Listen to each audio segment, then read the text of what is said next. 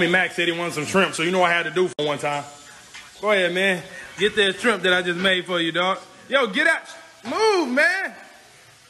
Yeah, yeah, yeah. That's that fire, huh? Yeah, yeah, yeah.